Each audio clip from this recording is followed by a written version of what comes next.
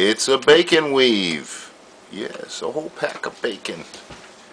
Woven to make a giant crispy mat of bacon. Did you see that? Are you seeing this? Look. Mm-hmm.